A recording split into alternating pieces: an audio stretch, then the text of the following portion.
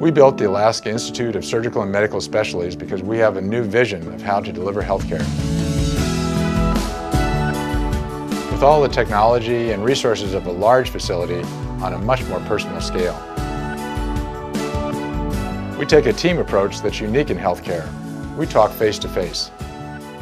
There's nothing more personal than your health. The Alaska Institute of Surgical and Medical Specialties, specializing in you.